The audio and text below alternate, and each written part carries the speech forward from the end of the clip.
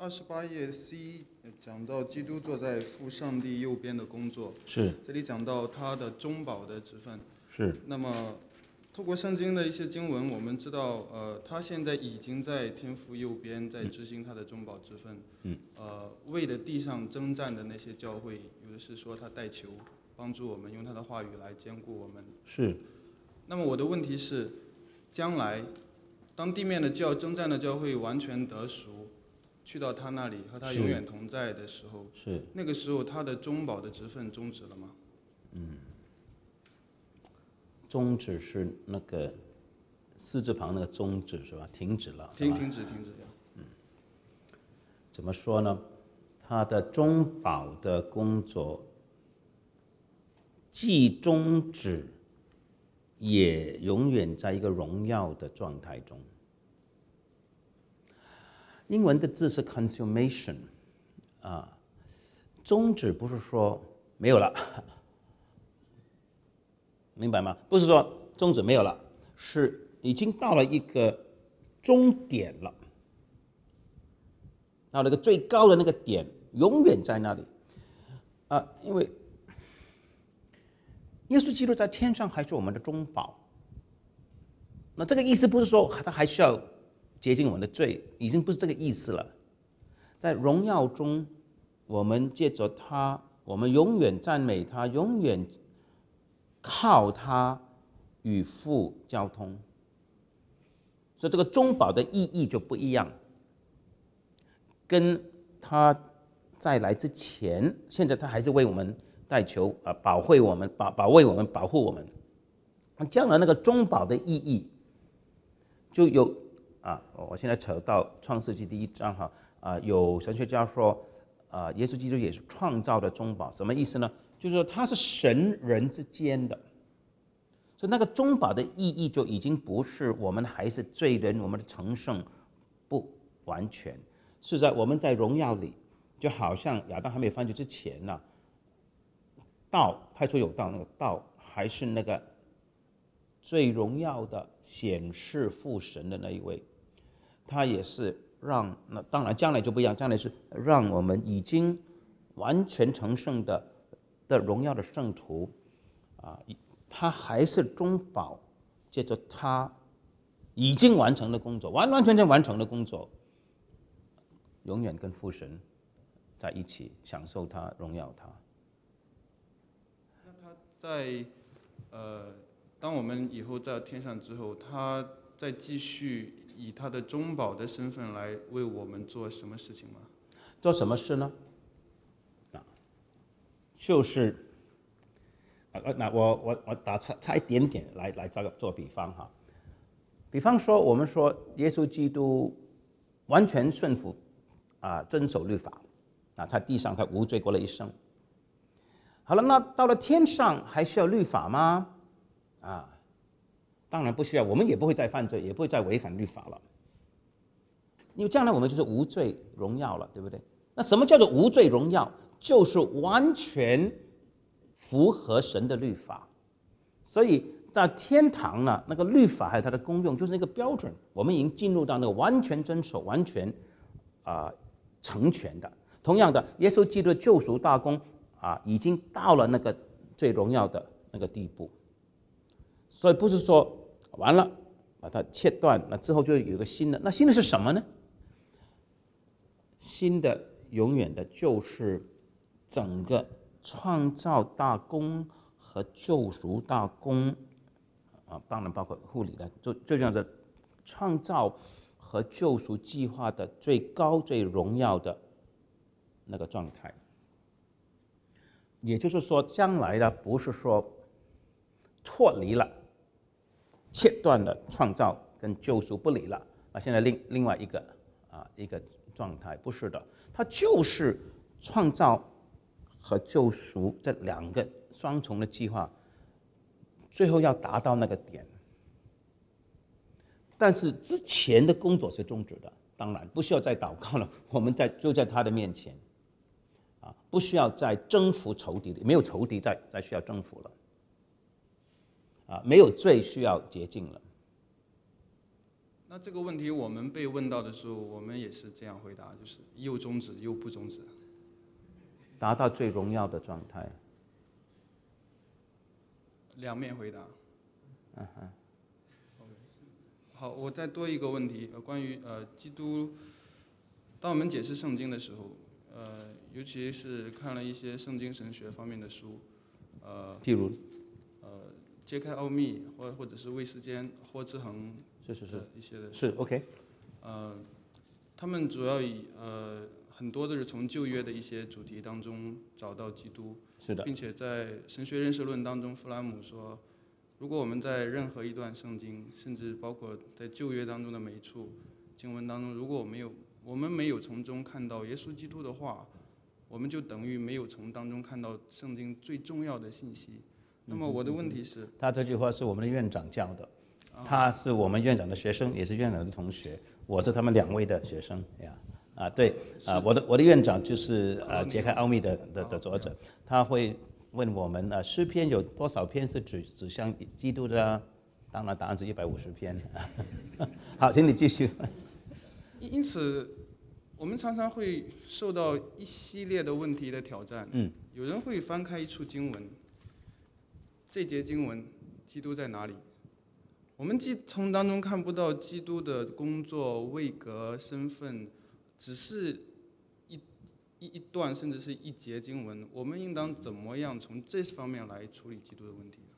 我们可以这样说：整个旧约是一个制度，是约的制度啊。我们先暂时撇开创世纪第一、第二章不讲，从第三章开始，特别是创世纪第十二章开始啊。我们不说前面没有哈啊，也有的啊。我们就从亚伯拉罕开始讲，这个恩典之约是一个制度。这个架构，整个一个大架构里面有恩典的应许，有律法，还有各种的典章啊，有有敬拜，还有人的回应诗篇等等，还有智慧之道。OK，那这个制度里面当然就有一些的职分，先知、祭司、君王、士师等等。那就我打个比方，比方说我们今天是在啊清朝，在一个小农村。OK，皇帝这么远啊，一个农夫在那里耕田插秧。OK，你说在那里找不找到中中华啊华夏天下华夏大地？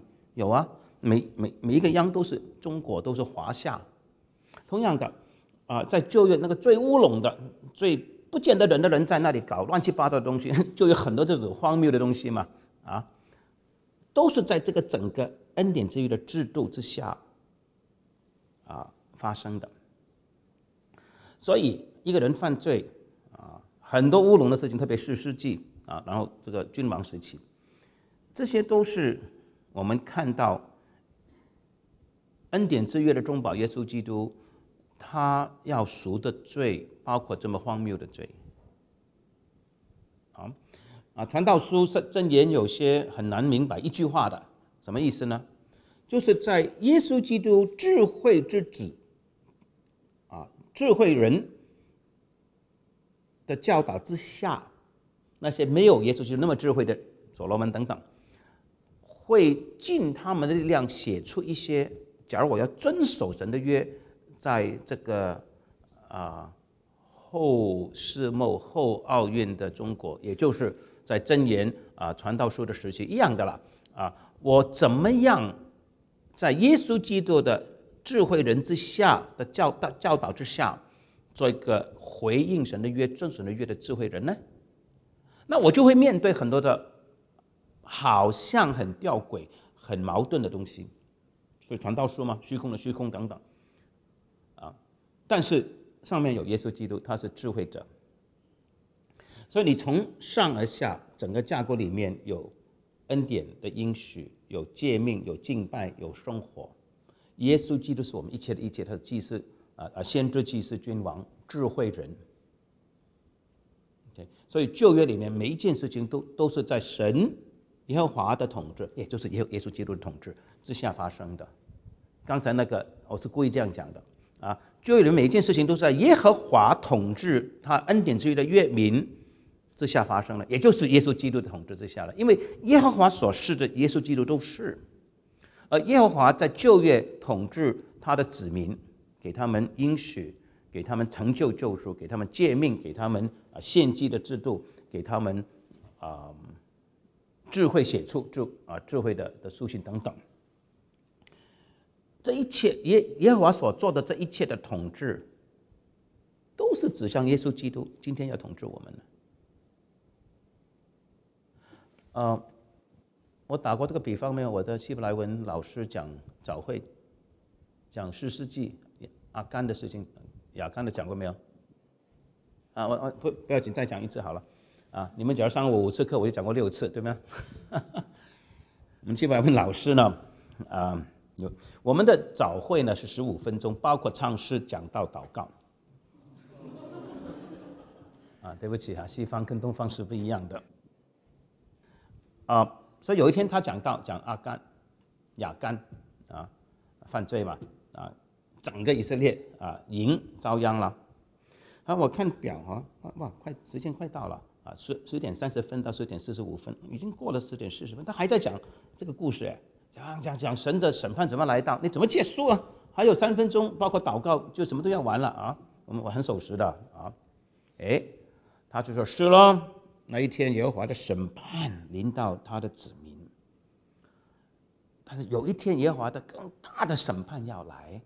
不过那一天他来不是执行审判，是承担审判，在十字架上低头祷告完了，一扭转过来，明白吗？啊，旧约的审判都是指向耶稣基督在十字架上所承担的审判。旧约所有的血淋淋的事情，耶和华杀戮人的事情，都是指向。哦，首先这个耶和华杀人呢，人是该该死的，那是公义。我们没有死是莫大的恩典。第二，啊，整个村子、整个民族杀掉，就告诉我们，耶稣基督在十字架上所承担的。惩罚是那么的恐怖，比一村子人死更恐怖。这还是指向耶稣基督的。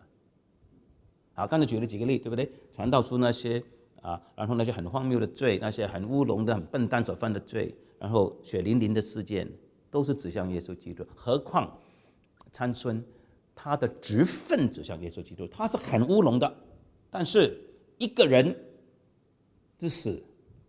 啊救了神的子民，抓住两根柱子，啊，所以从他的啊职分啊，这这个在杰克阿米有讲嘛，啊啊，他的职分和一人死啊，救了耶和华的子民，从这两件事情来看，他是指向，他是预表耶稣基督的。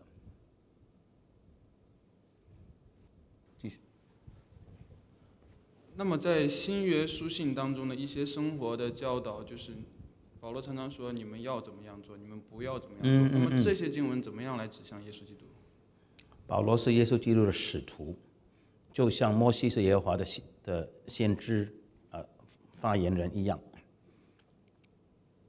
整本新旧约圣经都是耶和华，哎，都是耶稣基督啊，都是耶和华和耶稣基督的自我见证。当然，透过圣灵默示人写下来啊。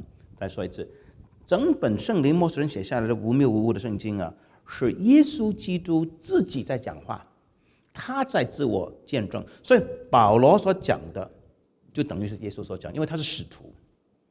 那那你说哥林多前书第七章啊啊，不不是我说，是主说，又来不是主说，是我说，什么意思呢？啊，第十节跟第十二节啊的意思就是说。不是我说，是主说，是主耶稣在地上已经讲过这番话了啊，或者已经处理这个情况了。